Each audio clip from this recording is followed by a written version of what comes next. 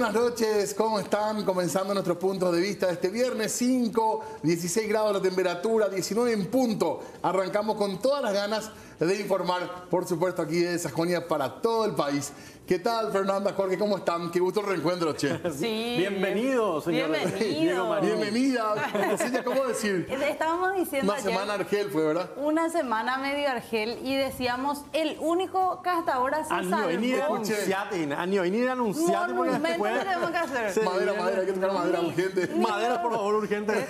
No. No, no, hay madera. Oh my God. Ni, Botón, entonces, botón. eh, ni los mosquitos le pudieron derribar a Jorge Escurra. Creo que es una buena técnica, a lo mejor, quejarse, ¿verdad? Entonces, para anticipar, ganarle la Ahí, enfermedad. ahí ya, está. que sí. Ahí está la la madera. tengo que tocar la Permiso, madera, por favor. Permiso, permiso. Vamos a hacer Como que eso. ya es viernes, yo salgo un ratito. No, porque es en Dina y encima que... Toco madera, Yo también madera. Porque nunca está de más. Mejor prevenir que lamentar, La ¿verdad? verdad que sí. No voy a La- hacer que el lunes falta Jorge Escurra. Sí. Pero, ¿cómo fue la semana? ¿Vos tuviste eh, cuántos días? ¿Tres Yo días? estuve el martes, Mar- miércoles. Martes y miércoles. Sí, por Y amigdalitis. sí. Amigdalitis. Amigdalitis con una mezcla con un cuadro eh, gripal que ya de a poquito va pasando. Pero la- el problema de las amígdalas fue lo peor. Yo tuve un sustito de un mareo así medio complicado, pero parece que no es nada, así que ya estamos de vuelta para sumarnos con toda la gente, por supuesto, y con muchísimas ganas de informar. Encima que es viernes, que bueno, hay muchas cosas que contar, tenemos muchas novedades políticas, hay muchos Sí. comentarios, está, bueno, temas muy interesantes importantes que hay, por supuesto, desde veto presidencial hasta la otra parte también, ¿verdad? La parte folclórica, a lo mejor de la política, que hoy de vuelta nos dejó algunas perlas que vamos a comentar esta noche. Hay una- un par de temas interesantes. Pero bien, Jaffer, tu garganta, ¿verdad? Sí, de a poquito mejor. ¿Tomando algo con medicación o...? Con medicación, con Ah. antibióticos. y ayer Antibióticos. también la gente que se sumaba, gracias, porque Las recetas. de todas las recetas. Escuché que Jorge que tome orina otra vez. No, no, estábamos diciendo, a Jorge le funciona su orinoterapia. O le ¿Cómo funciona en algún momento. ¿verdad? Ya vas a hacer ahora. No, pero eso era para, el- para los dientes nomás. No sé. ahora, para el dolor, dolor de muela que hace mucho, gracias a Dios no tengo, Me ¿verdad? gusta profesor Jorge y la, la técnica, ¿verdad? Yo, Jorgito, bien, bien la- laburando a full toda la semana. A full, a full, gracias a Dios. Y bueno, aquí en la lucha nuevamente. Y tenemos mucha información, por sobre Sí. todo eh, las denuncias ciudadanas que nos llegan diariamente al 0985-625-000. Aprovecho este momento para invitarles a ustedes a formar parte de la programación, como todas las noches aquí en Puntos de Vista, a través del 0985-625-000. Enviarnos sus comentarios, sus saludos, también, ¿por qué no? Denuncias eh, y también algún tema que quieran que toquemos durante la noche de hoy. Hasta las 21 horas estamos con Puntos de Vista. Con fotos, Sí. videos, ustedes ya saben la forma de, comunicarse y la forma de denunciar a C9N y por supuesto en puntos de vista también nos sumamos a todo eso. En un viernes que como decíamos dejó varios temas para conversar, varios pendientes también vamos a tener la semana que viene, una semana muy intensa en lo político, se va a reflotar el tema juicio político a la fiscal general y a lo mejor con nuevos eh, ingredientes también podríamos decir, ¿verdad? Porque hay nuevos temas en la fiscalía que podrían sumar parte de lo que es un eventual juicio político. Así que a prepararse, a descansar quienes puedan el fin de semana, porque vamos a tener una semana muy, muy intensa. Incluso eh, la intensidad también se da mucho en el aspecto proselitista, ¿verdad? Porque se empiezan a como a definir algunas cuestiones se empiezan a dar más nombres también de posibles chapas, tomó mucha fuerza en las últimas horas la versión de que Soledad Núñez va a acompañar a Efraín Alegre en la chapa, por ejemplo. Cada vez está más firme prácticamente. Falta nada más que se confirme ya de manera oficial, pero prácticamente es un hecho que vaya esta dupla a la presidencia y vicepresidencia respectivamente. Sí, y antes de hablar nada más de, de esto que tiene que ver con las duplas y por sobre todo las figuras para el Senado, Sí. creo que martes o miércoles tienen prevista una conferencia de prensa. La semana que viene, decías, Diego, va a ser clave por distintos casos, no solamente que se reflota nuevamente el caso del juicio político el día lunes, sino también, no, no recuerdo con exactitud si era martes o miércoles una conferencia de prensa a la que van a estar llamando y quizás allí ya podríamos tener novedades en materia de dupla, Sí. si es Efraín, Soledad, Soledad, Efraín o qué pasa ahí. Y esta, esta convocatoria para nuevos integrantes del Senado de la lista que acompañaría a Soledad Núñez, eh, nuevos nombres, lo, va, va a ser el martes. Sí. Quizá yo creo que ante todos los medios vamos a tener ya probablemente un panorama, si no es antes, un panorama más claro ya de lo que podría ser la dupla. No sé si decir que pierde la apuesta frente a Guazú o si hay que entender que esto va a ser parte de la concertación y bueno, es formar dupla y después ir a las urnas, ¿verdad? Finalmente. Es como que ya se están dividiendo las aguas allí, porque en un inicio se hablaba, ¿por qué no? Decían algunos, una dupla Efraín con esperanza. Era una fuerte Ya, versión. eso no... Por lo menos comparando las elecciones anteriores, ¿verdad? De años eh, anteriores en el que siempre estuvo, estuvieron juntos ambos partidos, tanto Frente Guazú como el PLRA. Es más, eh, yo creo, y es más, se decía también de que había eh, supuestamente una intención de que eh, Frente Guazú entraba a la concertación para que acompañara al candidato del PLRA para unir fuerzas en ese sentido. Claro, por lo menos eh, con Efraín no. No sabemos con los demás candidatos del Partido Liberal, porque recordemos Claro. que hay otros, eh, otros, otras figuras también dentro de ese mismo partido que están pugnando por la Pero Martín presidencia. Burja tiene chapa. Martín tiene Burr, chapa. sí. ¿Quién sobra? Hubo Fleitas. Hubo Fleitas. Del sector llanista, podríamos decir, o más disidente, a lo mejor podríamos decir, del, del poder del PLRA. Así que, ¿por qué no pensar que se podía dar una chapa? Lo que no sabemos si el Frente de Guazú va a persistir en la idea de que encabece Esperanza Martínez, que podría ser una pos- posibilidad y quizás para el elector también una posibilidad. Ahora, genera un poco, no sé si es suspicacia o es raro que todo el año decimos que es un florero del cargo de vicepresidente y ahora parece ser la piedra del escándalo. La piedra del escándalo en la oposición. Es la- o lo que más tensó hasta este momento no fue ninguna posición ideológica ni nada. Hasta este momento lo que más tensó la cuerda aparentemente fue ciertos enojos con respecto a quién serían los vicepresidentes. Así que claro que Y tiene especialmente importancia. que tiene que ver con Efraín, ¿verdad? Exactamente. Recordemos lo de Payo y ahora también lo de Esperanza.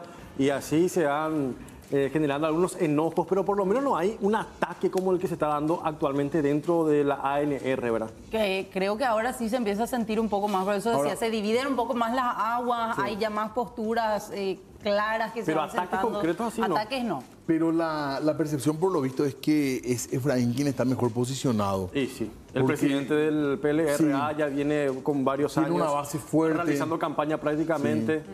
Así que vamos a recordar que se va a dar esta conferencia el martes. Hablamos del equipo de Soledad Núñez, de Katia González. Ya conocemos algunos nombres que van a trabajar con mujeres muy interesantes, personas muy interesantes.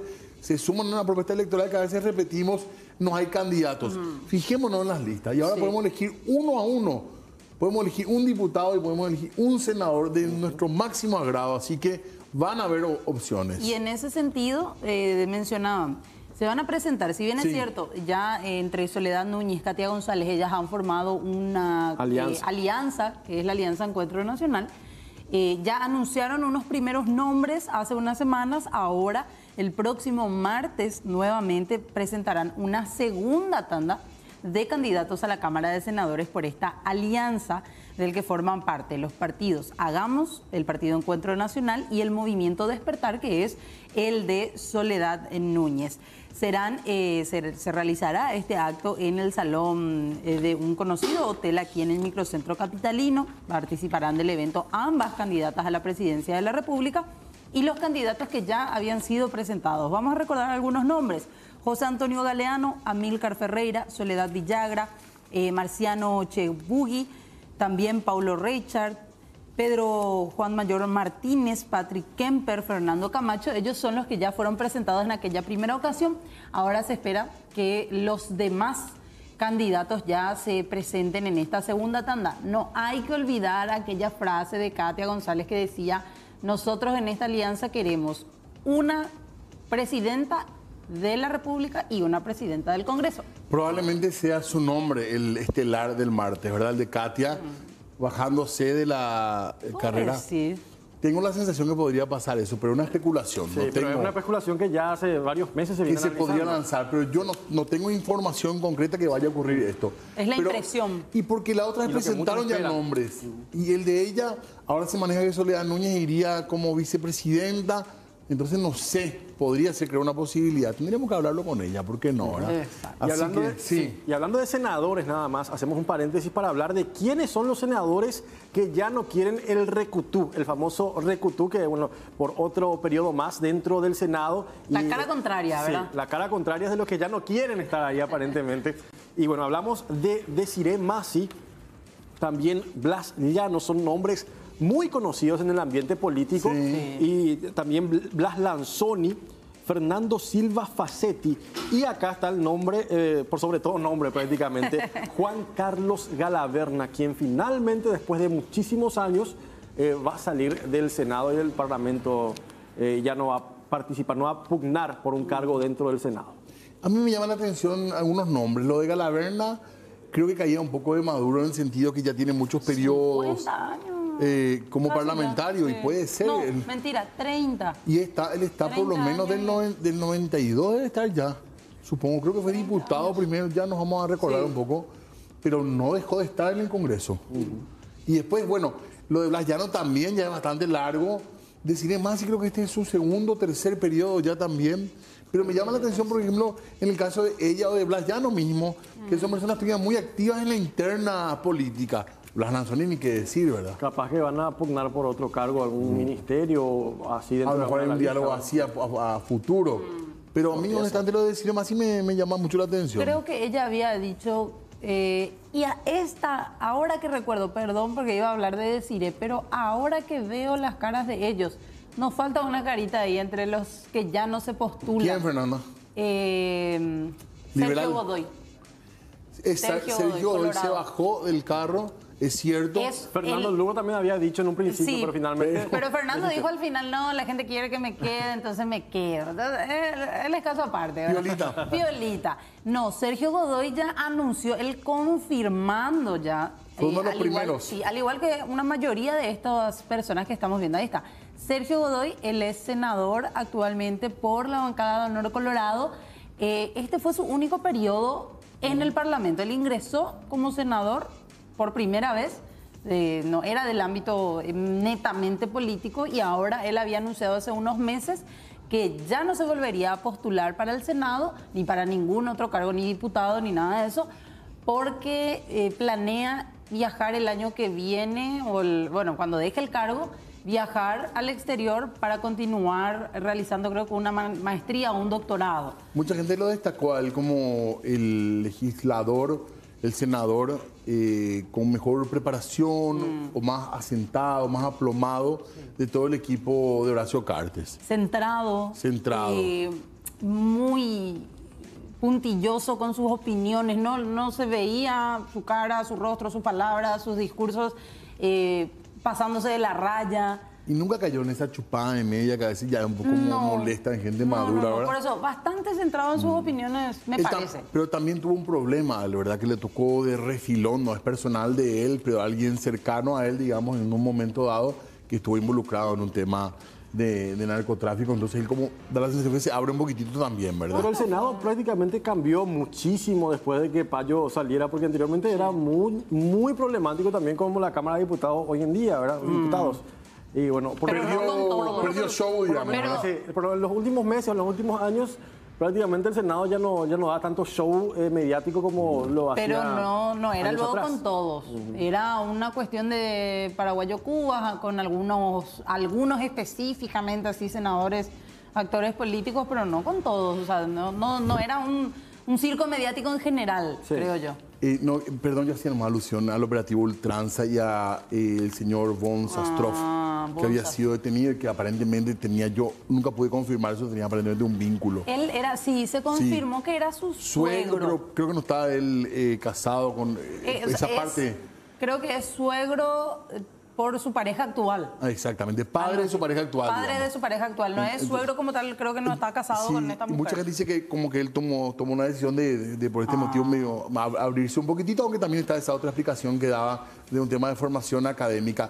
Pero la verdad que algunos nombres llaman la atención porque hay otros que creo que con menos destaque y mucho- en muchos casos con menos brillo persisten en la idea de seguir en el Congreso Mm. o en el Senado. Y hay algunos, hay que ver qué pasa con aquellos que eran suplentes y entraron después de la salida de algún senador. Si van a intentar otra vez ir por la titularidad en la senaduría o van a ir otra vez por ser suplentes. Mm, habrá que decían, ver. decían algunos senadores, ahora, después de todo lo que pasó en este periodo electoral, hay muchísimos que quieren estar en las primeras listas para ser suplentes, porque había sido, los suplentes son sumamente importantes, un cargo que se le restaba bastante importancia, Sí. pero en estos años que por pandemia, por otros procesos de destitución, llegaron a salir varios. Es Ahora todos quieren ser suplente número uno. Desde la pérdida de investidura, esto se volvió mucho más interesante. El tema, claro, antes era por una enfermedad, una renuncia rarísima, o una pérdida de, de- de fuero, pero ahora se hizo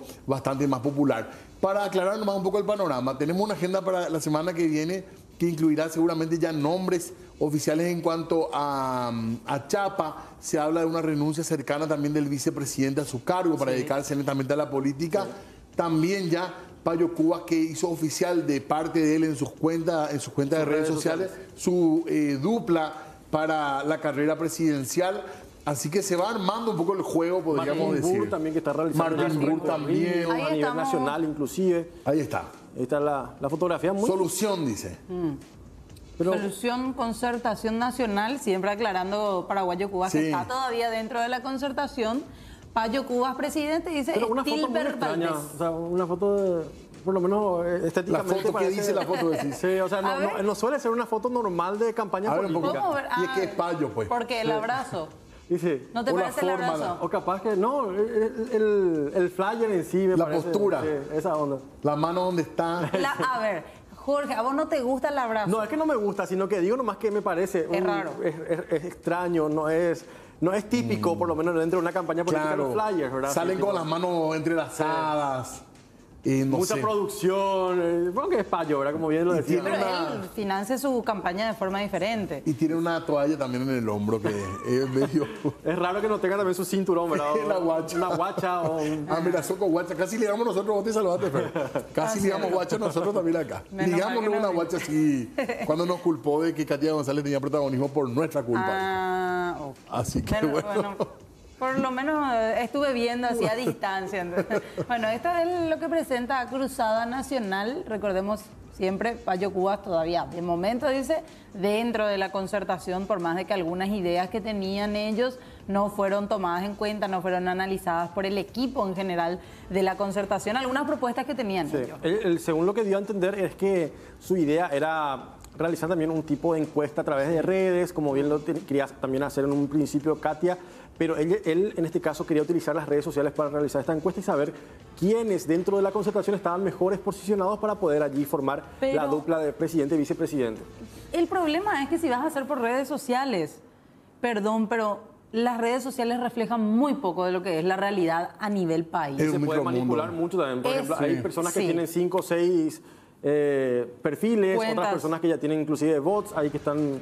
Pero si Es Elon muy- Musk dejó de comprar o dudó en comprar Twitter por el tema de los perfiles falsos. Es muy, Así grave muy, es. muy vidrioso porque, te digo, el pensamiento que tienen y el tipo de personas que consume ciertas redes sociales es totalmente diferente a lo que uno se va a encontrar en el interior del país, Sí. lo que uno va a encontrar entre eh, gente de otras edades o muy jóvenes que no consumen noticias o información política en sus redes sociales que utilizan para entretenimiento de otro tipo, o gente mayor que directamente no sabe utilizar. O sea, no es parámetro. El Twitter muchas veces no es parámetro, el, ni siquiera Facebook, que Facebook. usa más gente de, de distintas edades. Sí. Eh, además, el, el- el Twitter en particular es una red con muchísimo odio. Entonces cuesta también sacar ideas claras ahí, porque a veces lo que Hay se busca, cosa nomás ya se dice. se busca destruir a veces a la persona que opina o los candidatos sin mucho fundamento. A veces es difícil a veces encontrar realmente lo que puede hacer una información real ciudadana. A veces en este tipo de redes hay que tomarlo sí con muchísimo criterio. Es una partecita de la población, no Sí. es la totalidad. Sí. Es una herramienta importante, digo Claro. yo, ¿verdad? Pero sí, Claro. como para utilizarlo para fines políticos y encuestas así de ese tipo, yo creo que... No, es muy eh, serio. No, no, no corresponde. Bueno, ahí está nuestra línea, recordemos por favor, 0985-625-000 para poder comunicarnos hoy con la eh, teleaudiencia en medio de tantas cosas todavía que tenemos que comentar. Y hablábamos de Cire Masi y honestamente en muchos aspectos uno la recuerda de Cire Masi con intervenciones, bueno, hay una muy, muy recordada que fue cuando Horacio Cartes fue hasta el Congreso a leer su gestión eh, y ella se para enfrente y le señaló un montón de cosas y le dijo cara a cara en un momento que muy poca gente se animaba a hablar así, frente a frente a Horacio Cartes. Y en las últimas horas también hizo unas denuncias gravísimas que si son ciertas y se pueden comprobar, realmente tenemos que preguntarnos, hermanos, de quién está el Ministerio Público. Y a través de esta denuncia que ella realizaba el día de ayer, en el Pleno de la Cámara de Senadores, dio a conocer a través de informes, documentos que ella tenía en su poder, algunas denuncias en contra de representantes del Ministerio Público, muchos de ellos que criticaron la filtración de un informe del Comando Tripartito, en donde se revela que la Fiscalía tenía conocimiento, según esta propia denuncia también que expuso la senadora de Masi, criticaba en este sentido que la Fiscalía tenía conocimientos ya con anterioridad de toda la estructura que, por ejemplo, movía Sebastián Marcet nueve meses antes del operativo a ultranza, en un lapso en el que, según ella, ante la inacción de fiscales del Ministerio Público, logró esta persona huir del país. Vamos a escuchar un poco lo que era la denuncia que realizaba la senadora Desiree Masi, que Esto se mostraba bastante crítica. Sí. Y asimismo también Masi criticó vía Twitter al exministro del Interior Lorenzo Lescano por señalar que solo hubo un problema de coordinación entre fiscales como locos hurreros y perfiles falsos, poniendo disparates eh, de la denuncia y los fiscales involucrados haciendo retweet inocentemente, decía la senadora Masi entonces a través de la red social Twitter en torno al exministro del Interior Lorenzo Lescano. Pero ya escuchemos lo que decía el día de ayer la senadora eh, Desiree Masi sobre estas graves denuncias. En la misma misiva se sugirió la apertura de una causa penal para proseguir los autos investigativos bajo la dirección del Ministerio Público. En respuesta, el fiscal abre la causa al famoso estilo. En el 21, ¿eh? en julio del 2021, un año, un año. Caratulada como siempre, persona innominada sobre hecho punible a determinar. El objetivo de la investigación, ¿quién era? Sebastián Marcet Sebastián Marcet, prófugo, del cual en ese momento se manejaba información de inteligencia que referían su vínculo con el narcotráfico y sus antecedentes, incluso de detención en un proceso de tráfico de drogas en la cual fue condenado juntamente con el paraguayo Juan Viveros Cartes, el piloto.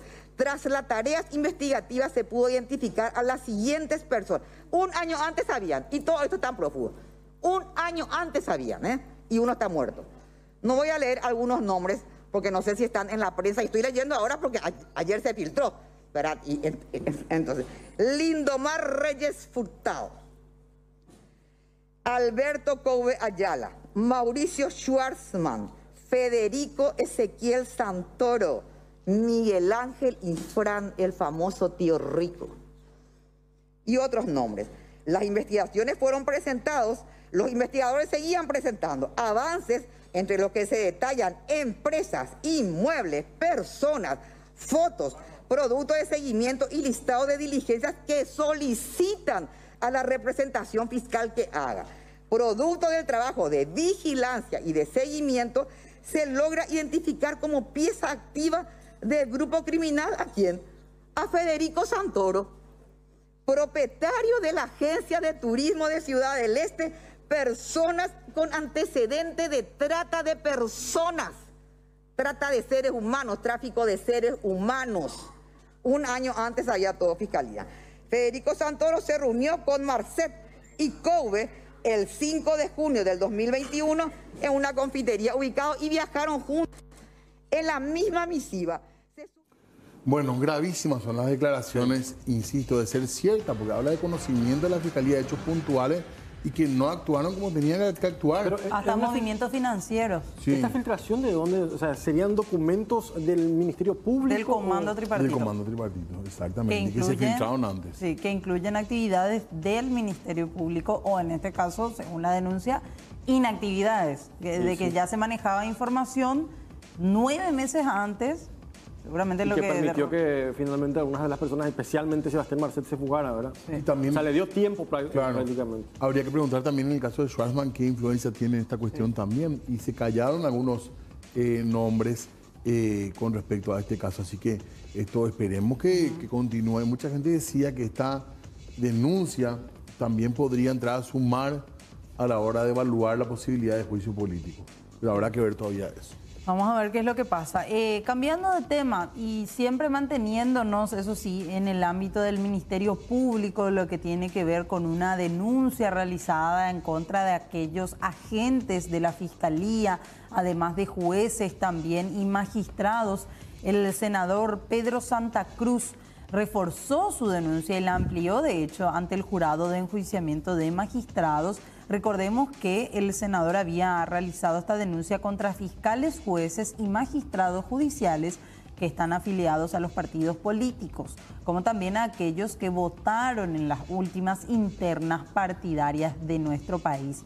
El senador menciona que el presidente del jurado, Jorge Bogarín, prometió dar seguimiento a la denuncia, ya que se había presentado una con antelación a la Fiscalía General del Estado.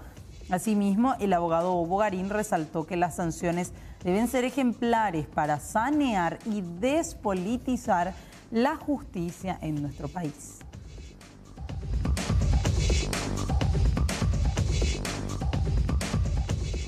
Bueno, estamos entonces con la información, 19 con 26 minutos. También después vamos a compartir con ustedes, aparentemente hoy estuvo tensa la cosa en el este con la visita que hizo Santiago Peña. Aplausos, abucheos, más abucheos que aplausos, a ver qué dice la gente también un poco del este. Y de los dos lados también hubo noticias por lo menos en cuanto a ataques entre los grupos, eh, entre los dos movimientos principales de la ANR. Fuertes declaraciones que en instantes vamos a estar desarrollando, pero quería nada más destacar el, grado, o sea, la, temperatura que estamos teniendo a esta hora de la noche, 16 grados, bastante bajo comparado con días anteriores. Exactamente. ayer teníamos 26, a esta hora, ayer 18, ahora 16. Yo creo que de a poco nuevamente estamos retomando eh, lo que es la temperatura de invierno que deberíamos estar teniendo en vez de este veranillo de San Juan que se extendió. Ya, gran veranillo, se apoderó San Juan. Sí, perdón, pero qué memoria que tiene Jorge para acordarse de cuánto era el, cuántos grados hacía ayer a esta hora de ayer a esta hora. Yo no me acuerdo qué cené ayer.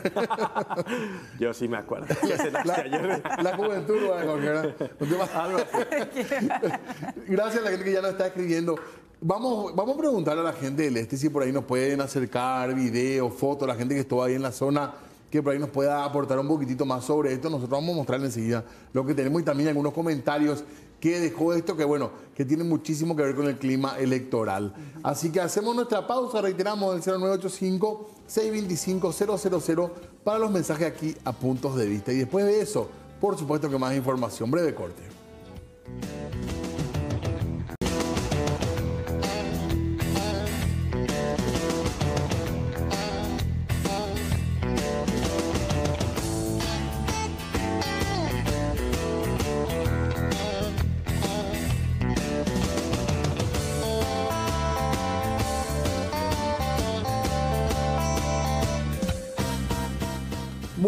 Seguimos nosotros compartiendo puntos de vista y otras cosas también compartimos acá.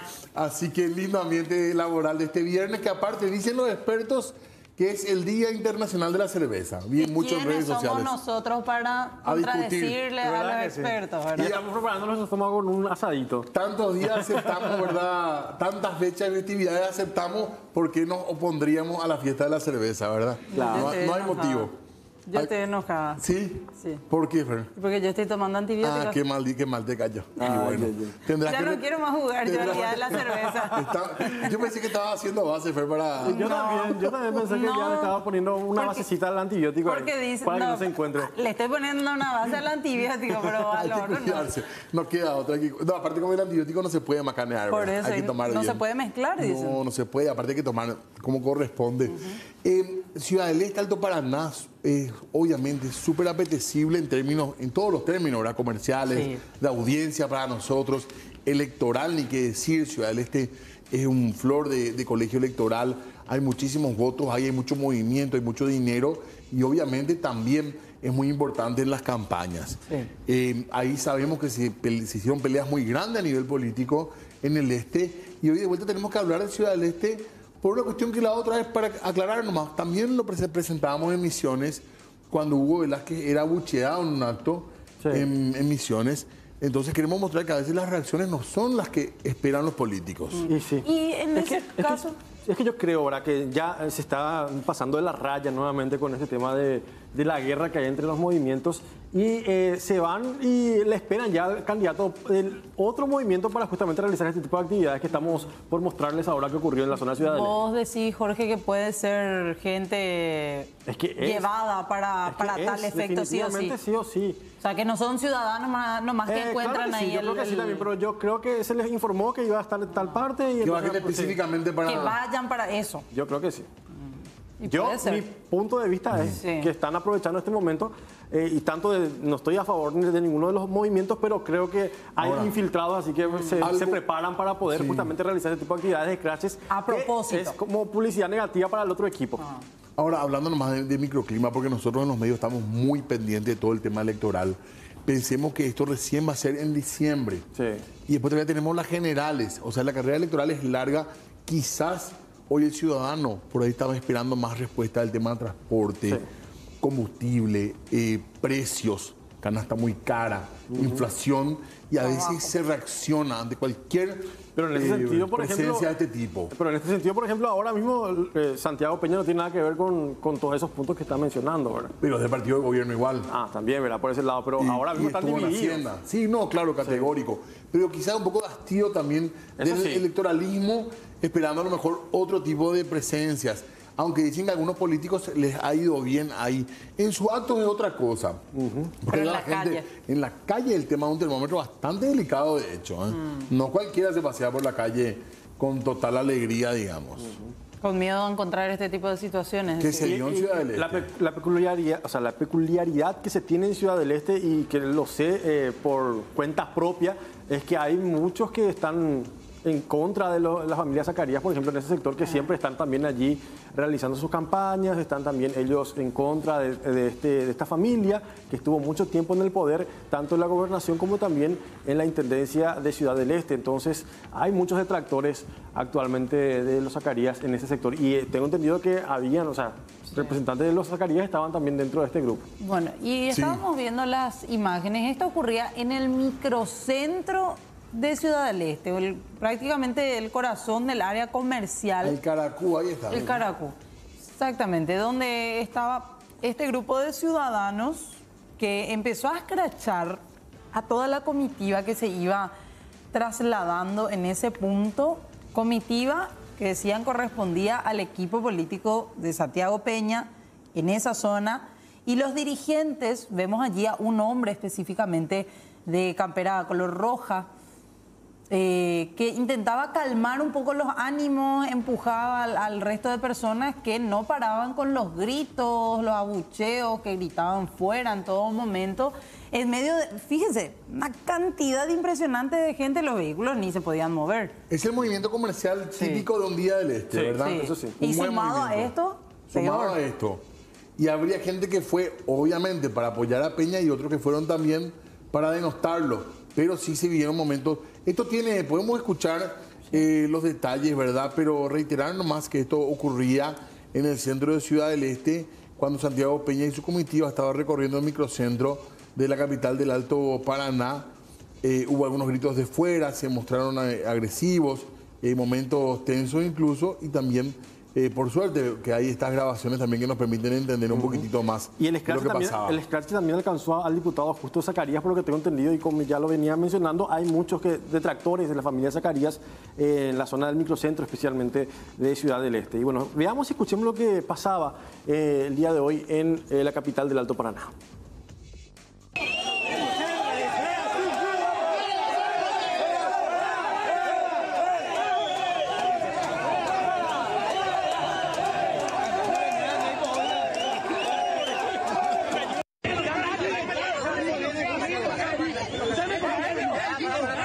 Thank you.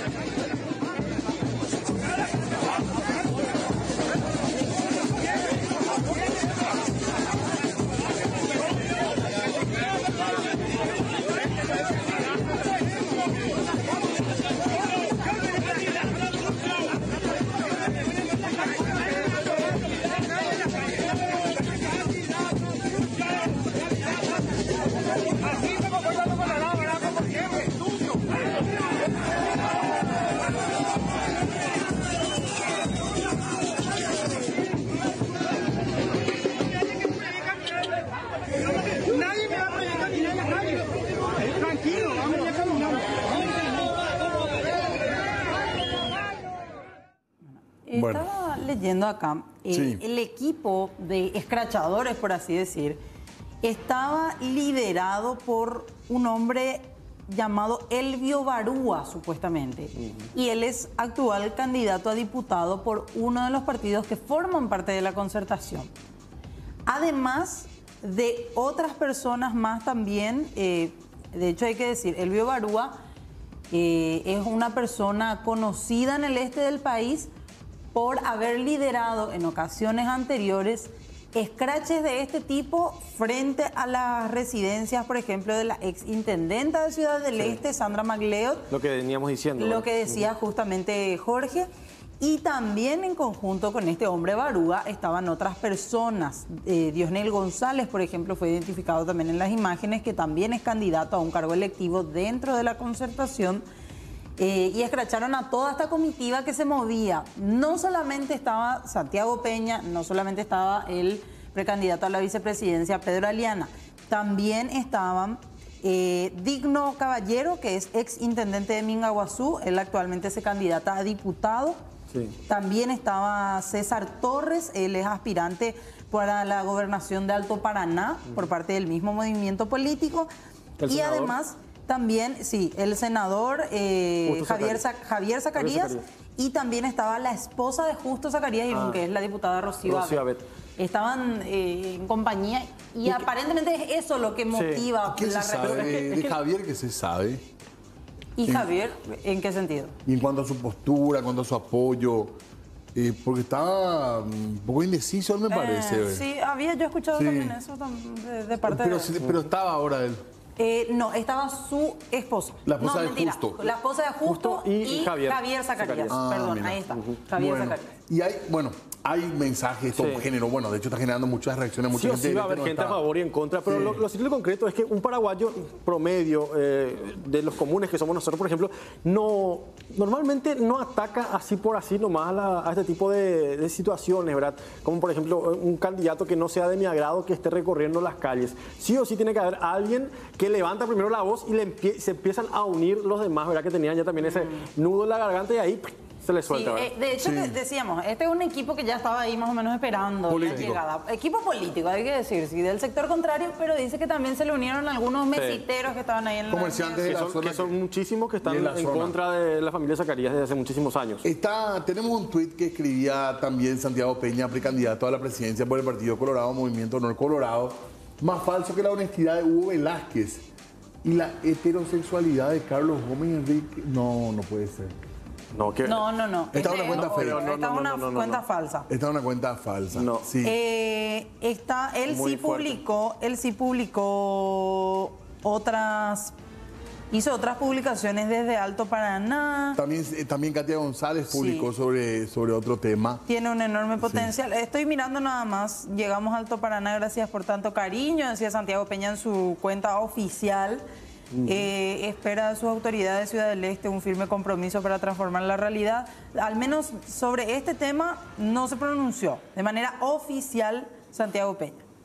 Bueno, entonces aclaramos, es una cuenta falsa la que estábamos compartiendo con ustedes para aclarar nomás, para que Pero no se que venga hay, nadie hay- hay encima. mucha confusión también en ese tipo de situaciones porque a mí me suele pasar también de que a veces encuentro cuentas así de conocidos políticos eh, y bueno, con muchos seguidores y al ver que tiene muchos seguidores uno lo sigue y empieza a ver que había sido nada que ver. Finalmente eran cuentas falsas que yo no sé con qué propósito se, se Y a veces ¿verdad? eso inducirá al error. El- ¿no? a veces no son. Hay gente que lo hace por broma y contienen contenido de humor, pero este evidentemente Ahora es en un esta época de caso. política yo creo que... Claro, a veces lo que sí buscan sí es Andrés. confundir, porque muchas veces pasa que se hacen capturas de esto, gente que no usa Twitter, por Y ejemplo, se sí. publica. y ya se hace correr y ya la mentira salió disparada y después corre. Así que perdón, esto no forma parte de, de la verdad. Eh, Katia González sí publicó en su cuenta de Twitter y también ella comentó algo. Estuvo por la zona, tengo entendido también ella También. Por la zona de haciendo Alto Paraná. de Alto Paraná, haciendo proselitismo y hablando un poquitito de lo que fue también su presencia ahí y a lo mejor riéndose un poquitito de estos momentos de tensión que se viven, eh, que suele ocurrir cuando los políticos salen un poco de sus, de sus cuevas también. Una indirecta Sí. muy directa. Da gusto caminar libre por Ciudad del Este y sentir el cariño de la gente, dice. En Ciudad del Este otra vez. En Ciudad del Este. está. Bueno, esta sí es Y ya de le Katia respondían, González. estaba viendo, a ella le respondían con lo que era el, el caso de, de Peña, ¿verdad? Ya publicaban, como respuesta a esta publicación que hacía Katia González, le respondían con el video de, del scratch que se daba eh, del lado contrario, del equipo contrario, por así decirlo. Bueno, y acá ya hay mensajes que llegan también del este y dicen, es gente pichada porque no fueron parte de Honor Colorado, dice por ejemplo uno. Javier Zacarías, senador, no está con Santiago Peña. Yo tengo esa versión también de que le está apoyando a Hugo Velázquez y en realidad no está.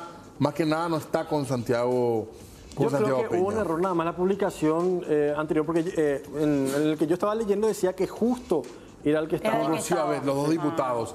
Y Javier está corriendo por su cuenta. Podríamos decir, al menos no está eh, en honor Colorado. Viendo Eh, un sí. poquito, él se candidata otra vez para senador, Javier Irún está trabajando con Fuerza Colorada. Fuerza Republicana. Fuerza con de Hugo Velázquez, dice Luis Segovia, amigo del Alto Paraná. Gracias, Luis.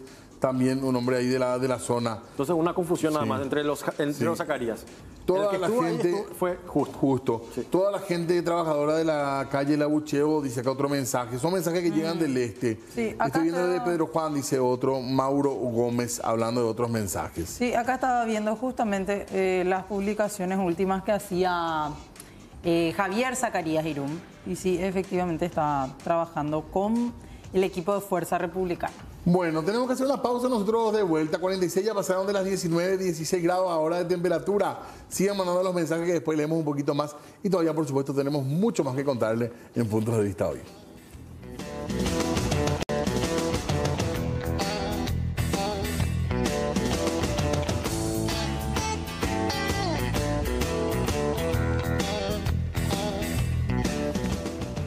...19 con 49, seguimos nosotros en puntos de vista, con mucho que hablar todavía y mucho que Sí. contar en esta noche de viernes. Y sí, más todavía con el tema de la batalla que se está dando dentro del Partido Colorado, porque siguen los ataques entre ambos bandos. Hablamos del movimiento también Fuerza Republicana, como también por parte de Honor Colorado. Y bueno, mucha información en torno a esta guerra que se da entre ambos movimientos. y estuvo dando, bueno, hubo primero unas declaraciones bastante fuertes, un par de días en realidad declaraciones fuertes de Horacio Cartes, Sí. y ahora también eh, Mario Abdo, el presidente de la República, respondió de alguna manera, podríamos decir, ¿verdad? Haciendo Claro. alusión directa a, a Horacio Cartes y hablando de algunas cuestiones, incluso ironizando que le era presentado desde Honor Colorado como un presidente débil. Eh, ya no sabemos si decir responde o no, porque es, un, es como una rueda. Sí, ya no. Ida y vuelta. Un ida y Continúa vuelta. nomás esto. Sí, claro, no es que un ataque, ataque y contraataque, no, ya continúa nomás. No es como así. una respuesta en sí, sino que No, por cada eso- uno va diciendo, va, Va, atacándose, va, es como va. un piqui voley. Va, va y viene, va y viene. Exactamente, pero acusaciones de Sí. ironías, de palabrotas en algunos casos, como presentábamos el día de ayer. Y en este sentido, en medio de una eh, visita que hacía al interior de nuestro país el presidente de la República, En Mario. Benítez, en el departamento de Cazapá específicamente, él estaba recorriendo en medio de un acto oficial, arremete Como presidente de la República. eh, Sí, ahí está. Muy bien, cierto. Como presidente de la República, él estaba allí inaugurando algunas obras en función de gobierno, de lo que tiene que hacer Sí. actualmente. Ya se perdió la, la línea, ¿verdad? En ese Y sentido. sí, Hace muchísimo, hace vergüenza muchísimo. ya. Sí, meses. se repite el mismo ¿Te tema. acordás que hace poco nada más presentaba una obra, una obra vial como una obra de la ANR? Con eso prácticamente Claro, ella ya, se- Colorado, ya- cruzó la línea. Sí, y acá cuando se está hablando de trabajar por la ciudadanía, cosas así, uno se centra directamente en discursos oficiales eh, directamente. Como presidente de la Como República. presidente de la República, en actos oficiales, en lo que es tu trabajo, es como que vos te vayas a hablar en tu trabajo de algo que no tiene absolutamente nada que ver. Sí. Y esto era lo que pasaba con Mario Abdo Benítez. El día de hoy arremetía nuevamente Sí. contra el líder del equipo de Honor Colorado, Horacio Sí. Cartes. Sería como si yo viniese acá en el programa, en mi trabajo, ¿verdad? Para hablar un problema que tengo en mi hogar, ¿verdad? En, en mi Hablar casa, mal ¿verdad? de alguien de Sí, tu- de, tu de mi casa, casa. o con Tengo un problema con mi hermana Andrea, por ejemplo. Eh. El. Tipo, eh, y vengo acá y les hablo de Andrea. Eh. ¿Y qué tiene que ver Andrea con el O canal? hasta- Absolutamente nada. O hasta usar las herramientas del trabajo acá para hacer Sí. tu trabajo de facultad o para hacer También. cosas que no tienen que ver. Eh, ahora, a mí me llamaba la atención lo que decía, porque mencionó a dos líderes históricos del Partido Colorado en su momento, Lino Oviedo, Luis María Argaña, decían, no, no hay que compararlo con ellos, hay que compararlo con Al Capone, decían. Y Al Capone no cayó por sus 300 crímenes, no sé cuántos asesinatos le, le indilgaban a él, sino que fue condenado a 11 años por un tema eh, impositivo. Impositivo por Eso es real, evasión. Y él se va después a la cárcel, le llevan a Alcatraz después y termina muriendo en la cárcel, pero llamaba la atención que Mario Abdo cayó, o, o dijo, mejor dicho, esta comparación, utilizó esa comparación, eh, diciendo que la gente, la gente puede caer por algunas cuestiones, pero a Sí. veces, por donde menos se espera, termina cayendo una persona. Y yo sé que va a haber muchas personas, por ejemplo, que digan, no, pero Horacio Cartes dijo esto. Eh, re- señora, También. señor, recuerden que Horacio Cartes está ahora en campaña política apoyándole, o sea, como un ciudadano, como no como expresidente, sino que como un ciudadano y como un... eh, Una figura como política. Una figura, eh, cabeza de un movimiento político eh, respaldando a su, a su candidato, ¿verdad? Pero en este caso estamos hablando del presidente de la República que sigue siendo presidente de la República 24 horas al día Por eso y está que- aprovechando un acto oficial. Claro, y por eso se entiende por qué la Constitución dice el presidente solo puede ser presidente. Sí. Porque el presidente tiene solo es suficiente manejar un país.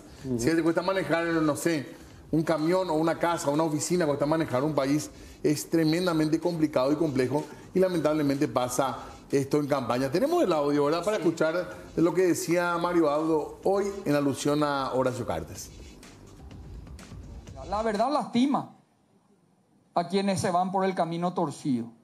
No es culpa del presidente de la República, los que se van por el camino torcido. No tiene, ¿qué culpa tiene el presidente de las actividades ilícitas de tal o cual sector? ¿Qué culpa tiene el presidente si alguien tiene contactos o hizo negocios con un avión que está al servicio del terrorismo? ¿Qué culpa tengo yo?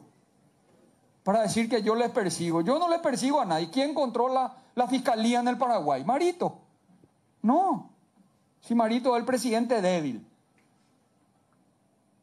Que cada uno rinda cuenta de sus actos. ¿Qué culpa tenemos nosotros si no querés tener problemas? Anda por camino recto. El que anda por camino torcido anda con personas torcidas y en algún momento algunos le quieren comparar con Lino Oviedo, con Argaña. Yo le comparo con Al Capone, que cayó por evasión de impuestos. Y esa es la realidad de este país. Y hay que hablar con la verdad. Y hay que construir un futuro con los cimientos de la verdad. Y el abrazo, el famoso abrazo entre paraguayos. Vamos a ser los paraguayos de buena voluntad. Vamos a volver a unirnos para seguir cuidando esta nación. No necesitamos abrazarnos con gente que no le quiera a este país y que manipula la verdad y que se siente frustrado por el destino que ellos mismos eligieron. Bueno. Y decíamos, esto es una rueda. Una rueda. No para. Ya no para. No para y no sabes más ahora eh, quién empieza, quién termina, quién continúa. ¿Cómo que se llama ahora estas, estos concursos que hacen, tiene un corte medio hip hop, que hacen esas batallas que uno le reta al otro? Ajá. Y la batalla de rap, Eh, sí. eh, bueno, eh, más o menos así ya estamos, Una ¿verdad? tiradera le Eh, llaman a Una tiradera. Sí. Podemos hacer una tir- Qué lindo sería tenerla haciendo un ring a los dos. De, de una buena vez, ¿verdad? que se digan todo lo que tienen que, que decirse, ¿verdad? Porque lo que se Y con los otros bailando allá atrás, ¿verdad? En vez de estar, yo creo que, bueno, en vez de estar eh, hablando de, su, de sus ideas, sus proyectos para poder, o sea, en este caso, eh, Marito, por ejemplo, no está siendo candidato a, a un cargo político en sí, sino que más bien para presidente de la ANR, ¿verdad? Pero más allá de todo eso, ¿verdad? Creo que los candidatos a presidente y vicepresidente respectivamente tendrían que estar eh, trabajando más en sus proyectos y llegar a la gente en ese sentido y no estar atacando al contrario, al grupo contrario, que es lo que están haciendo en este momento eh, ambos, ambos grupos, lastimosamente. Y finalmente, eh, también el día de ayer, anoche, tengo entendido que se daba también un discurso por parte de Horacio Cartes, Sí. del otro sector ya también mencionando y asegurando que su candidatura a la Junta de Gobierno de la Asociación Nacional Republicana sigue firme a pesar, él se mantiene en esa postura de que todo esto se trata de persecuciones políticas en su contra, eh, que son orquestados con todo un aparato estatal detrás. En ese sentido, por ejemplo, él también se contradice, o sea, el propio eh, movimiento Honor Colorado como que se contradice al asegurar de que Sandra Quiñones no es parte del movimiento, sin embargo, ellos eh, dicen que eh, se trata de una persecución. Un ataque político al movimiento. Al decir que eh, por, por el juicio político a Sandra Quiñones es un ataque político contra ese movimiento. Sin embargo, lo más fuerte es lo que mencionó y que destacamos allí en el Zócalo. Quienes quieran que me vaya van o me tendrán que matar porque no me van a sacar de la cancha de esta manera, dice. Qué fuerte es, ¿eh? Para una discusión política este tipo de, frases, ¿eh?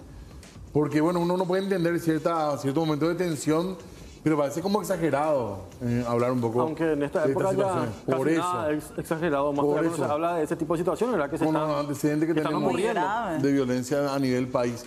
La verdad que es bastante A mí, complicado. Particularmente me asusta, yendo nomás al antecedente más cercano de las últimas elecciones municipales, que muchos ataques eh, violentos, atentados, asaltos, eh, en el interior incluso hechos de sicariato en contra de algunos candidatos políticos. Había lo de Pedro ocurrido. Juan hace poco tiempo, Pedro ¿verdad? Juan. al propio eh, intendente electo. Sí. Sí, pero eh, en medio de las elecciones mismas también se Sí, daban que- También. de, de todo. Muchísimo y eh, amenaza como si Candidato a nada. intendente, concejal. Sí, a concejala, intendente, de todo ocurría. O sea, eh, no sé, eh, da hasta un poco de temor ya lo que puede llegar a, a pasar. Esperemos que no, para ningún Claro. sector, ¿verdad? Y está, tenemos, vamos a escuchar lo que decía Horacio Cartes. Eh, escuchamos el audio. Tenemos. Yo me siento, Santiago Peña, con más compromiso que cuando me eligieron presidente de la República. Y me prometo acá en público ponerme a disposición de ustedes porque estoy con mucha cara. A quienes quieran que me vaya, me tienen que matar. No me van a sacar de la calle.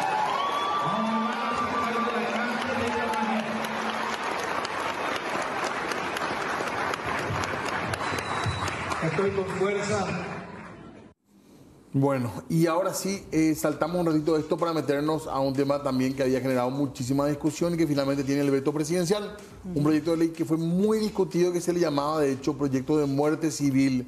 Una serie de sanciones, podríamos, podríamos Sí. decir, para presentarle a la gente que por ahí no recuerda, con, los que, con las que se buscaba sancionar a la gente que no concurra a a votar. votar, a cumplir con su obligación con el voto. Se vetó totalmente este proyecto de ley 6.963, digo bien, que pretende o que pretendía modificar el artículo eh, 332 del Código Electoral y sancionar con prohibiciones de realizar trámites al ciudadano que no pague su multa establecida por no, vetar, por no votar, digo bien. Se vetó. El presidente no aceptó eh, y esto nuevamente tendrá que ser derivado al Poder Legislativo, teniendo en cuenta y recordando un poco que esto suspendía una serie de trámites siempre y cuando aquellas personas que no fueran a votar no paguen su multa. Pagaban su multa y uno podía volver a hacer esos trámites. Exactamente, trámites como por ejemplo para renovar la cédula, el pasaporte, también eh, las personas que por ejemplo no acudiesen a votar podrían ser eh, afectados con el tema de los subsidios del Estado que se le dan a las personas de escasos recursos Acceder a becas. y acceder a becas y muchas otras cosas más, ¿verdad? Y bueno, finalmente el Ejecutivo veta esta ley y vamos a ver qué dicen nuevamente los Sí. legisladores sobre el punto. Argumentaron, eh, argumentó el, el Ejecutivo al momento del veto que bloquear la entrega de sumas de dineros a beneficiarios de programas como Tecoporá les resulta excesivo según el análisis que han realizado y se contrapone al funcionamiento de la estructura de protección social que había sido diseñada por el Estado justamente para apoyar a los sectores más vulnerables de la sociedad. Y alegaron también en, esta, en este documento del veto que el hecho de que se impida sin un plazo determinado que vos, eh, gobierno o Estado, le impidas a un ciudadano sin un plazo, eh, hasta que pagues tu multa, no vas a poder hacer cierto tipo de trámites, Sí. eh, va a afectarles de manera desproporcional al ciudadano en su derecho de contar con un documento, por ejemplo, tan básico como es la cédula de identidad, porque te bloqueaba específicamente el pasaporte, Sí. pero trámites decían identificaciones de la Policía Nacional. Y la multa era de 40 mil guaraníes, eh, que Sí. para muchos es poco, para otros es eh, mucho, pero lo cierto concreto es que la persona que no, o sea, según esta, este proyecto de ley que fue vetado, las personas que no pudiesen o no quieran ir a votar tenían que pagar el 40 mil guaraníes, la suma de 40 mil guaraníes, Sí. y en caso de no abonar esa multa, allí era que se iba a eh, realizarse este tipo de sanciones en contra de ese ciudadano que no fue a votar y que tampoco pagó su multa de 40 mil guaraníes. Básicamente- desproporcionado realmente, porque Sí. estaban cercenando de derechos tuyos vinculados a la identidad, por ejemplo. Coste que hoy pasa eso con el pasaporte, ¿eh? Mm. Gente que tiene por ahí atraso o problemas tributarios, Sí. le deniegan el pasaporte, que es un derecho del ciudadano. En algún momento habrá que revisar también esa norma. Eso te iba a decir. Sí. ¿Y por qué eso no se tiene en cuenta? Porque acá el Ejecutivo cuando veta esto dice no se le puede privar al ciudadano de tener una identidad nacional e incluso No. fuera del país. Es tu derecho de identidad que está ratificado con tu cédula de identidad, un derecho básico de cada persona. Insisto, lo del tema del pasaporte, como no es nomás tan general como la Pero cédula. eso, no es- o sea, eso fue hace poco no, nada más implementado, ¿verdad? Porque yo, por No, ejemplo, ya, hace- ya tiene su año la ley. Ya tiene su año. Y vos tenés algún problema, te olvidaste de presentar cualquier tipo de problema con la SED y no puedes sacar tu pasaporte. Es O gravísimo. no podés renovar también. O no puedes renovar. Tenés que tener todo eh, en regla. Así que habrá que ver en su momento lo concreto que Mario habló Yo- de todo esto que fue muy polémico. Yo creo que esto también tiene un tinte de eh, popularidad. También. como vos, eh, presidente en campaña, que tenés allí a tu figura política queriendo promoverle para las próximas elecciones, vas a sacar una ley ahora siendo presidente para decirle a la gente, anda a votar, si no te multamos con 40 mil y si no pagas tu multa te viene algo peor. Creo que tiene también un tinte de Tiene. Y aparte que populista metió- el sí. hecho de que se haya vetado. Y ¿verdad? también, claro, porque aparte metió en el, en el discurso entre el tema de los subsidios, la Claro. ayuda económica, que son muy importantes para muchísima gente y que también son un derecho en de estas ejemplo, personas. yo creo que fue acertado. la- o sea, fue acertada la Yo decisión. también coincido Sí. plenamente, creo que era absolutamente exagerado y aparte, acá hay un trasfondo, los partidos políticos a veces se interesan en la participación exclusivamente por el subsidio electoral, creen eh, buenas candidaturas, buenos proyectos y que nadie va a sentir que es una obligación, vamos a ir a votar a lo mejor todo con entusiasmo y con ganas. Muchos proponían en el debate en el Congreso cuando se estaba tratando el tema que se mantengan las multas pero que se quite este tema de las prohibiciones para hacer ciertos trámites. Claro, Ahí sí sería más razonable. cambia. Pero ahí el, el otro sector, los que defendían el proyecto así como fue sancionado, decían, ¿para qué? Porque la- en la ley ya está ahora que está la multa Sí. estipulada, pero es letra muerta, no se cumple. No se cumple. Ellos lo que querían era hacer una doble fuerza coercitiva para obligarle a la persona a sí o sí ir a votar, decían ellos, que el efecto que buscaban no era recaudar sino que vayan a participar. Pero acá el trasfondo, y muchísima gente desconfió de este proyecto porque decían, acá parece más que en realidad lo que quieren hacer es recaudar Sí. 40 mil guaraníes, que para muchos parece muy poquito, pero para otros realmente cuesta. El otro tema, Y eh, hablamos el de famoso- la famosa amenaza. Anda que votar porque le vamos a sacar el trabajo a toda tu familia. Y después aparece entre los multados. No te fuiste a votar, ahora vas a ver la persecución que te vamos a hacer. Así que bueno, eh, finalmente de todo absolutamente el presidente. Hay muchos mensajes, tenemos que hacer pausa también. ¿Por qué no cuentan sus discursos a quién va a llorarle para salvarle del juicio político? Dice alguien con respecto a, a Mario Audo. Dice, eh, pueden decir el proyectista de esta ley del voto. Dice otro mensaje. Ay, no recuerdo Eh, yo tampoco no estoy recordando ahora. Eh, a ver qué más dice la gente. La justicia no. Lastimosamente, por eso todo el mundo hace la justicia por mano propia, dice otra persona también que se queja. Saluda a la gente de San Lorenzo también que nos está viendo. Ahí tiene que haber justicia. Dice, si la policía no actúa, la gente se tiene que defender, dice otro, otro mensaje. Así que muchísimos que están llegando también acá. Eh, hablan también de algunas duplas, de Esperanza Martínez, que va a ir con el liberal, nos aseguran de buena fuente, dice, es uno de los rumores también que está corriendo a esta, a esta hora. Eh, ¿Cómo van a obligar? Dice, faltaba plata, dice otro mensaje. Bueno, muchísimos mensajes realmente. La gente usa como excusa para agredir y empeorar la situación, dice. El proyectista fue Enrique Riera. Ahí está.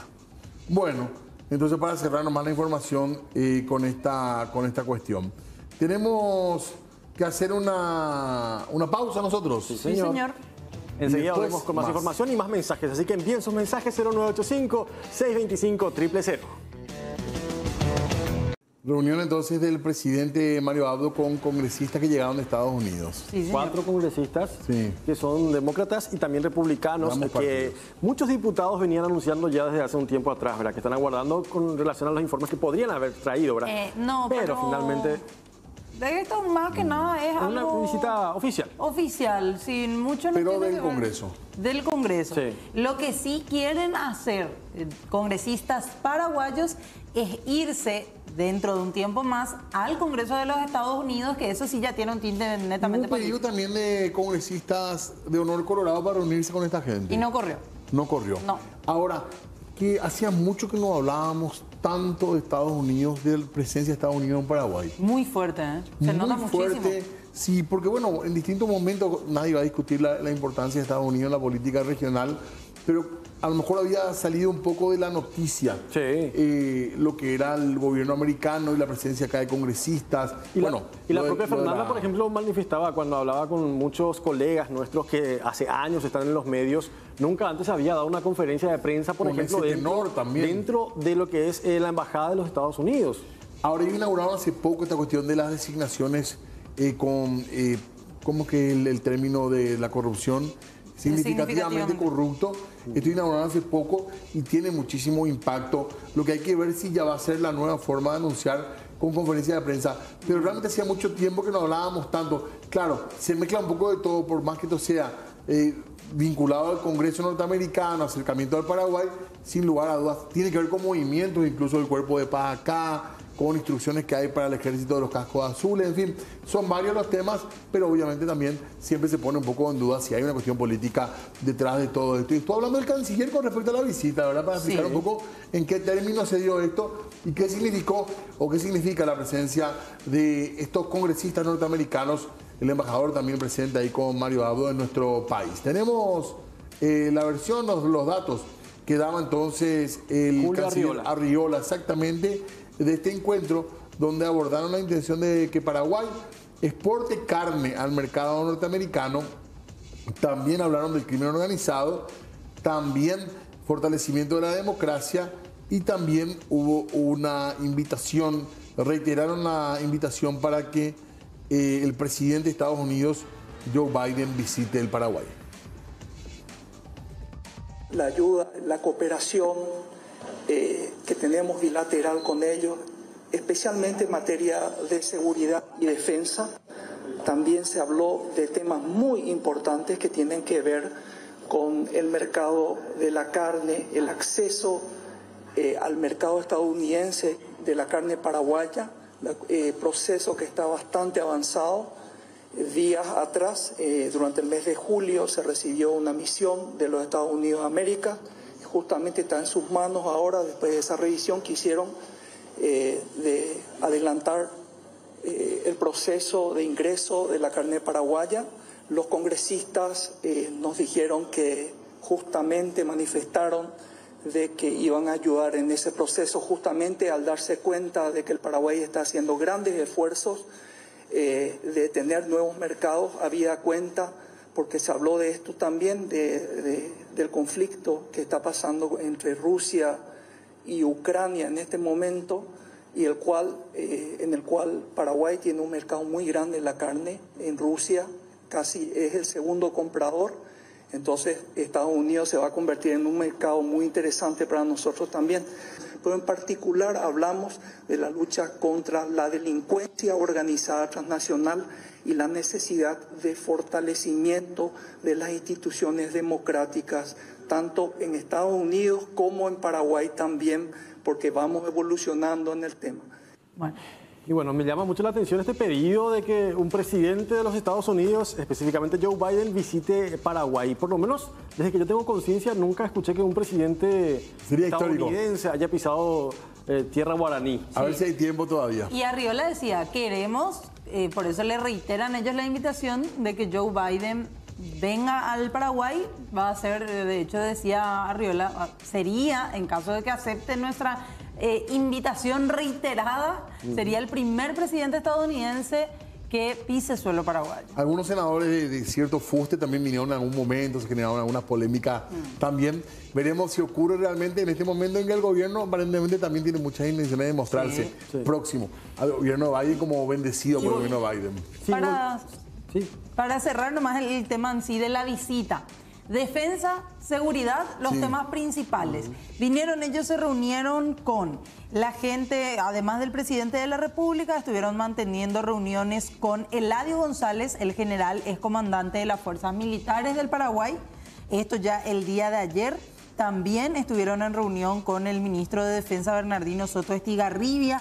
Acompañaron también toda- todo un recorrido por diferentes eh, lugares y locaciones militares. Por ejemplo, las instalaciones de Secopaz también estuvieron visitando conociendo un poco sobre las operaciones combinadas para mantenimiento de la paz que lleva a cabo el Paraguay, eh, por parte también de la ONU, con financiamiento de Estados Unidos para el equipamiento, así que eso también hay que tener en cuenta cómo venía a mirar, estás usando bien el, el dinero que yo te, Sí. te di para mantenimiento de la paz. Eso por un lado, y también con el eh, ministro de la Secretaría Nacional de O sea, que Inteligencia. nada que ver prácticamente con el tema del del mi- Ministerio Público, por lo menos, No. informes al respecto. No. Porque, bueno, Pero, volviendo, al bueno. tema, al- volviendo al tema de los diputados, nada más quería resaltar lo que decían algunos diputados liberales, específicamente Antonio, Enrique Antonio Busarquis, él decía, eh, tras la suspensión de todo ese problema que hubo con Celeste Amarilla y todo eso, él decía en la entrevista que ellos como eh, partido, o sea, como, como eh, bancada del PLRA,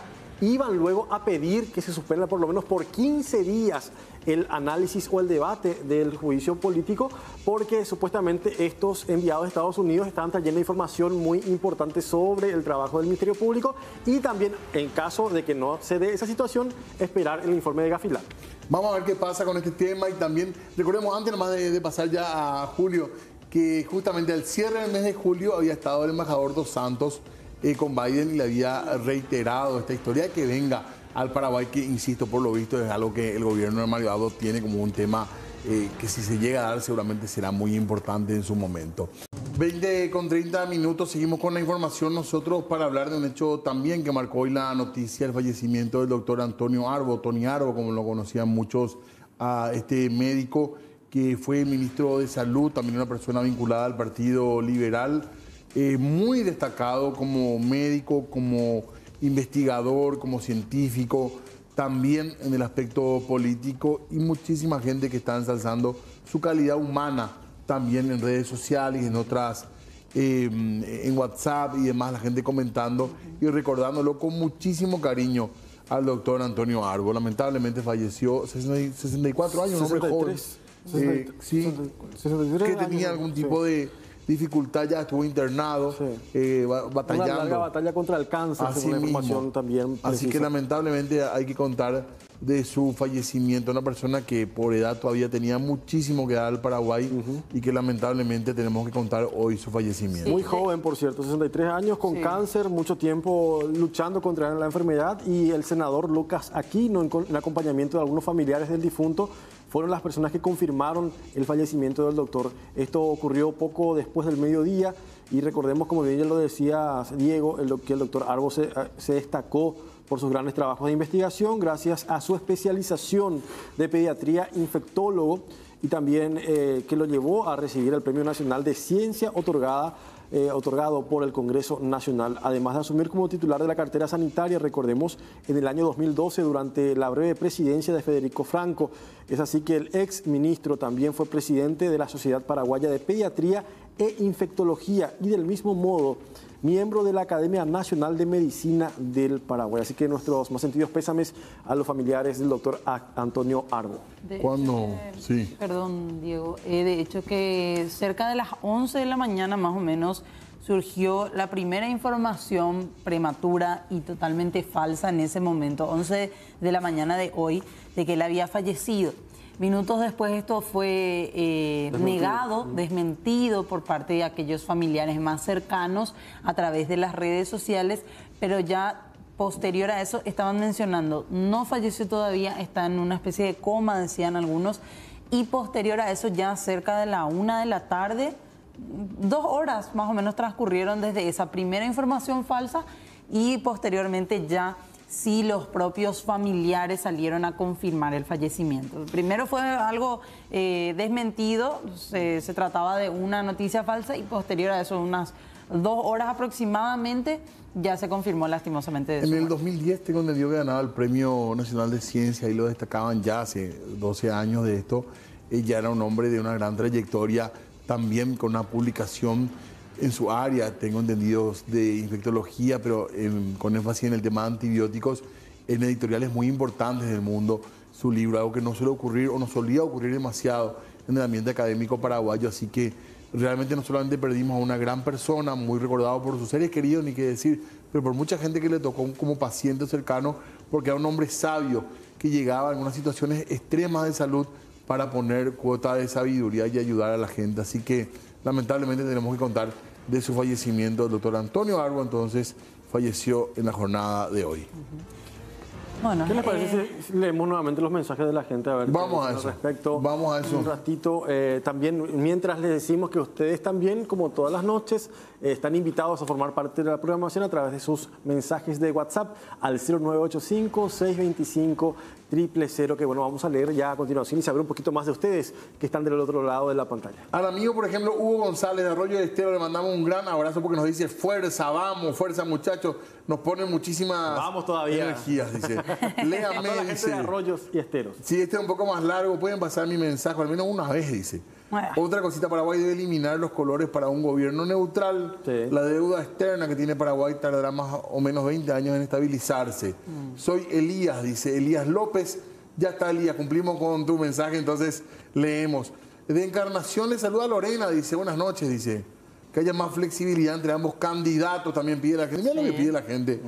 Eh, un poco más de Menos paz, a lo mejor, por lo ¿verdad? menos, ¿verdad? Mm. Porque Saludos, sí. Porque eso también genera odio entre, las propias, entre los propios ciudadanos, porque bueno, hoy por ejemplo estoy con mi vecino que es del movimiento tal cosa y yo de otro movimiento, ya se da ese como tipo de resentimiento entre los vecinos mismos, no familiares también. Porque pues Y- los otros se abrazan todos. Y sí, porque al Vos te final quedas después- enojado con tu pariente. Sí. Así es, ¿verdad? Y así, de verdad, hay gente que es muy fanática, Sí. que se pasa de los Sí. límites. Saludos a los tres de Pilar, dice, muchas veces olvidada la ciudad de Pilar, seguramente. Les recordamos entonces la ciudad de Pilar. A todo el departamento de Ñembucú, un saludo. Aprovechamos, nadie se acuerda del Tratado de Itaipú, tema central, la otra hablamos con Payo Sí. de eso, tema súper importante. Les estoy viendo desde la República de Luque, dice el amigo Carlos Falcón, Carlito, un abrazo. Entonces, para vos, Encarnación también, habrá otros lugares que estén mencionando. No se puede legislar en contra de las disposiciones constitucionales. Claro. Eh, con respecto a la muerte civil, también otro mensaje. Qué gusto la opinión de la gente. ¿eh? Eh, tal vez ya seamos una colonia de Estados Unidos y no lo sabíamos, dice otro mensaje. Hablando de los temas de actualidad. El amigo Juan Maldonado también que nos manda saludos y le mandamos y le retribuimos con un gran abrazo. Y seguimos informando, ¿les parece? Sí, señor. El Ministerio Público, te comento, ¿se acuerdan sí o sí de Froilán Peralta? Claro, ¿cómo Del no? caso de Una No Te Calles. ¿Sabes yo de qué más me acuerdo de Sí. todo? De la Come Papeles. Porque eso pasó. Impresionante. Eso Sí. no es, no es ficción, no. Ima- Pasó acordate. eso. Sí. Quería comer. ¿Qué año fue eso? Pero no es que 2013, quería comer, 2014. comió. Comió. Agarraba y metía ¿Pero en en qué su año fue boca. eso? 2014 fue, ¿verdad? 2015. Una no te calles. Ahí está. 2015 fue, si no recuerdo mal. Eh, bueno, y en ese sentido hay que recordar que está abierto un proceso, de hecho, eh, a nivel judicial en contra del señor Froilán Peralta. Y el Ministerio Público pidió seis años de cárcel para el ex rector de la Universidad Nacional de Asunción, de quien ya estábamos hablando, Fro- Froilán Enrique Peralta, por el cobro indebido de honorarios e inducción a subordinados. Además de cuatro años, acá está lo que estaba diciendo Marini, cuatro años pide la Fiscalía para la exdirectora de Talentos Humanos del Rectorado de la UNA. Ella es María del Carmen Martínez y ella es la conocida como Papeles. La como en papel. La come papeles. Sí. Y bueno, esto es por los ilícitos de estafa y apropiación. Esto en el caso de la, la señora María del Carmen Martínez. El fiscal Luis Said menciona que la conducta de Froilán ha causado un daño patrimonial en contra de la Universidad Nacional. Atención a esto porque sería por más de mil millones de guaraníes. eh, entonces el daño patrimonial contra la universidad, mientras que la de María del Carmen fue de unos 200 millones de guaraníes. Los alegatos continuarán el día lunes 8 de agosto desde las 9 y 30 horas en el juzgado de Fernando de la Mora ante el tribunal, que está conformado por Victoria Ortiz, Rilsi Ortiz y Pedro Nasser. Mucho cuidado también con el tema, ojo que también en, en este caso se le pone a prueba a la justicia que tendrá que decidir, pero también está en la mirada la fiscalía. ¿Qué tan buenas son las investigaciones y qué pruebas aportan los fiscales? Porque la ciudadanía no quiere saber más nada de casos que se congelan, de casos que desaparecen o de casos que la fiscalía no hace su trabajo como corresponde. No podemos seguir en estas condiciones ante situaciones de corrupción que fueron tan públicas. Y sobre eso, justamente, el trabajo de la Fiscalía, los avances en cuanto a investigaciones. Hablemos también del caso Miguel Cuevas. Y en este sentido, por fin se podría realizar aparentemente el juicio oral. El tribunal. Aparentemente, ¿verdad? Porque vamos a ver qué podrían inventar una vez más. Por ahora. ¿Qué Por chicana? ahora. Sí, porque Ay, el. Tribunal de Apelación Penal rechazó una recusación planteada por la defensa del diputado colorado Miguel Jorge Cuevas, por lo que hasta ahora se podrá realizar el juicio oral por supuesto enriquecimiento ilícito y declaración falsa. El pasado 2 de julio tenía que empezar el juicio oral en contra de Cuevas, pero la representación de, mejor dicho, la presentación de esta recusación eh, ocurrió, por lo tanto, los jueces no tuvieron otra alternativa que suspender el inicio del juicio. La acusación refiere que el político colorado, en su momento recordemos fue hasta presidente de la Cámara de Diputados, tuvo varias declaraciones juradas donde declaraba deudas a cobrar que no existían. Por otra parte, la esposa del diputado, Nancy Florentín de Cuevas, también está acusada, pero ella por cobro indebido de honorarios, ya que hay evidencias de que supuestamente la procesada cobró sueldos sin que haya ido a trabajar en el año 2018. Muy bien, y cambiamos de tema ahora.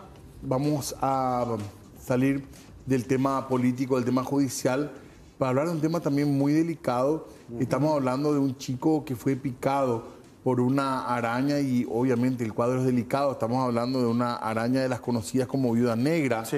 Él estaba Que durmiendo en su recordemos nada más, eh, disculpame que te interrumpa, Diego, el año pasado había matado inclusive a un Sí. hombre en la ciudad de Luque, eh, este mismo insecto, eh, y el, el hombre había fallecido a consecuencia de la picadura. es supa- sumamente delicado y en este caso un chico de limpio, como decíamos, fue por suerte auxiliado rápidamente y está internado en el Instituto de Medicina Tropical.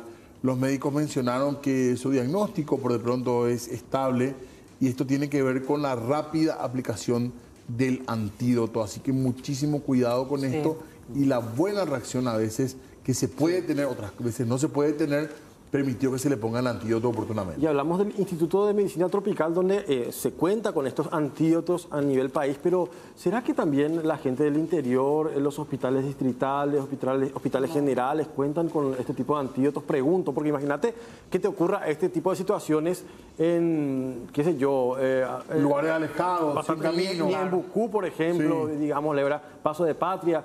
Eh, ¿Será que van a poder aguantar, por ejemplo, llegar hasta la capital para poder pasó hace poco tuvimos un conseguir problema con una el- mordedura el de serpiente. De serpiente. Y, tuvieron que traerle. Sí, el tema de las arañas, tengo entendido que es todavía más común podría ser que el Sí, tema. sí. Así Hay también que, alacranes. Viuda Sí. negra, alacranes son algunos de los más comunes, por lo menos en picadoras. Incluso los alacranes, me decía el, el director médico allí del IMT, Sí. de Medicina Tropical, que la picadura de alacranes es aún más común. La de viuda negra es menos, Es menos frecuente. menos frecuente, exactamente. Mira, Pero ¿cómo te vas a dar cuenta, por ejemplo, cuando una, o sea, un- color. insecto de este tipo te pica? O sea, capaz eso- muchas personas le pican y ni siquiera se da cuenta, el ¿verdad? mito dice que supuestamente la araña cuando te pica deja tres marquitas, pero yo no sé si eso es real. Como ¿La tres araña puntitos. cuál? La ciudadanía, La o sea, araña en general. me imagino que el dolor es mu- muy fuerte también, No, ¿verdad? En comparación con otras, esto- Sí. otros insectos. Esto no es broma, o sea, uno se da cuenta que es grave. Sí. No es como cualquier picadura. ¿Sabes por qué? Porque estaba diciendo el doctor, eh, no solamente se da el dolor en la zona, Mm. te empieza a dar un dolor muscular completo. Se esparce el Se veneno. esparce. Y varía de cuerpo en cuerpo. Como cada cuerpo es tan diferente, la reacción puede ser diferente y depende también, por ejemplo, de la edad, de la constitución física. Incluso decía, la picadura de la araña, de este tipo de araña viuda negra, puede llegar a producir una falla multiorgánica. En su gran mayoría de, los casos, por lo menos acá que los médicos han visto, afecta al sistema cardiovascular, corazón, y muy poco ya al sistema renal, por ejemplo. Pero es muy importante, decían ellos, apenas se den cuenta en casa o algunas personas que trabajan de repente en zonas boscosas donde la aparición de este tipo de arañas es más frecuente, que acudan al servicio de salud. Y perdón, en este caso fueron realmente súper expeditivos en el sentido que incluso atraparon al insecto, le llevaron para que vean. Entonces se insiste, porque no siempre, como decía Jorge, ¿cómo saber qué me picó? No. siempre se tiene esta certeza, a veces pasa de noche, a veces pasa en el campo. Y el año pero pasado entonces reaccionar e ir al hospital. El año pasado creo que la persona que falleció tenía más, un poquito más de 60 años. Me imagino que el sistema mismo también ya es claro, menos, diferente. Eh, eh, puede aguantar menos, puede resistir menos. Por eso.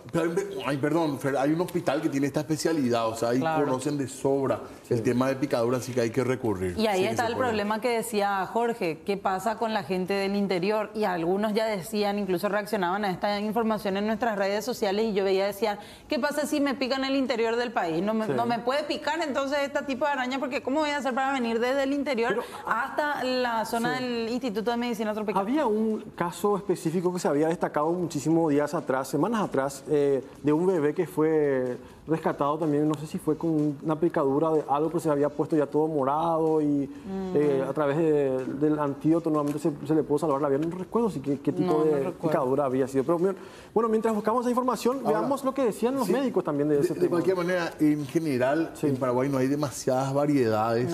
Por eso que los médicos con su conocimiento suelen reaccionar, aunque insistimos, lo ideal es que uno puede tener el insecto. Pero hay, versiones... Tenemos, sí, tenemos las versiones de los médicos tratantes en torno a este caso. Es un adolescente que ingresó esta mañana a las 7 de la mañana por una picadura de viuda negra que se llama Latrodectus magta. Eh, este caso no suele ser muy frecuente, porque ya tuvimos aproximadamente cuatro casos. Por suerte, y gracias al gerenciamiento del hospital y del ministerio tenemos el antídoto correspondiente, que es eh, obviamente donación del Instituto Malogrado de Buenos Aires, pero tenemos bastante. Este es el único centro que cuenta con los antídotos para las distintas especies de arañas y también para alacrán y eh, los antiofídicos correspondientes. Sí, este es un caso muy particular. Un adolescente que le picó la araña a la altura, creo que del, tórax. Tórax 14 eh, años y tiene, las características ¿verdad? De, ser grave, ¿verdad? de acuerdo a la clasificación clínica que se, se, realiza. ¿verdad? Nosotros clasificamos a esta picadura de araña en un adolescente de 14 años como moderado y por ende recibió dos ampollas de antitoxina. Eh, de acuerdo a la clasificación que realizamos, el paciente vino con mucho dolor, viene con espasmos musculares. Este chico fue picado por esta araña cuando él estaba durmiendo, decía, en la cama pasó. Sí, eso es lo llamativo también del caso, que fue intradomiciliario, el niño se percata, bueno, eh, por el dolor de la picadura, procede, bueno, a matarle a la araña y inclusive pueden traer los familiares eh, la arañita, ¿verdad? Y lo llamativo del caso fue el dolor intenso, y que, fue acompañado inclusive con eh, dolor precordial, dificultad para respirar y eh, unas contracturas musculares muy, dolorosas, ¿verdad? A nivel de, columna.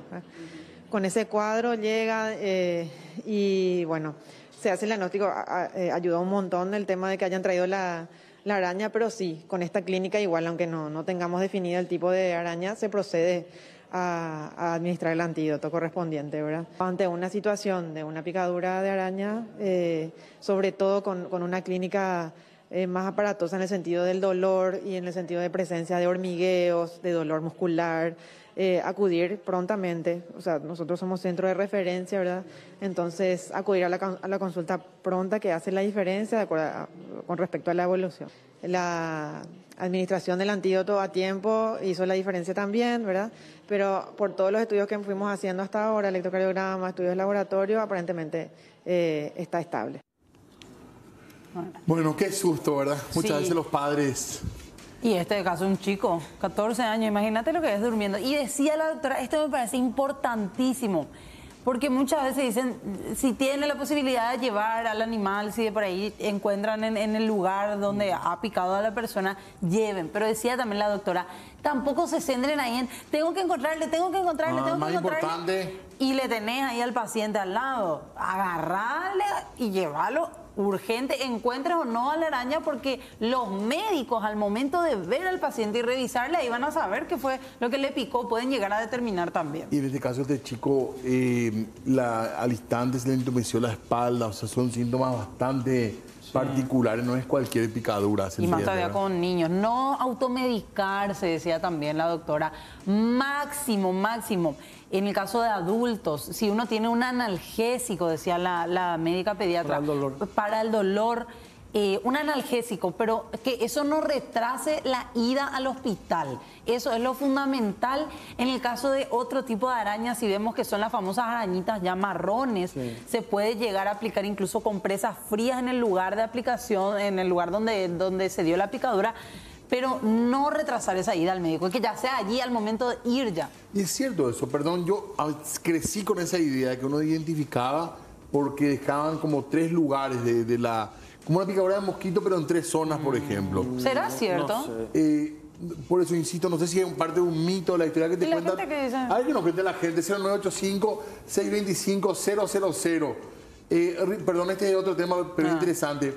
Richard Nixon fue el primer presidente norteamericano que vino al Paraguay, pero Nixon vino en el 58 cuando era vicepresidente. Ah, cuando no era presidente. Claro, exactamente, pero es cierto que vino. Y él nos regaló esa roca de luna que hay hasta ahora, está en el Ministerio de Defensa. Famoso que mostraba Don sí. Blas eh, Servín, Sí. solía mostrar. Y ese fue un regalo de él para el Paraguay. Bueno. Hablando nomás de algunas cuestiones. Eh, a ver lo de la araña, ¿qué dicen desde Paraguarí? Eh, no, es otro tema, con Ah. insulto para un político. Vamos qué? a, si Yurujarro le dice. Pero Eh, más, más allá de las arañas también están los alacranes, que no sé yo si es su temporada prácticamente esta, pero están al acecho y también eh, suelen atacar en las viviendas. Sí. A mí me tocó hace poco irme, por ejemplo, con mi hermana hasta el IMT para consultar por un tema de problema respiratorio y había una señora de más de 50 años que tenía una picadura de alacrán. Y estaba ya guardando y allí me di cuenta de que es bastante común había sido la Sí. picadura de alacrán y no es aparentemente tan grave también como se dice, pero también tiene que tenerse los cuidados pertinentes.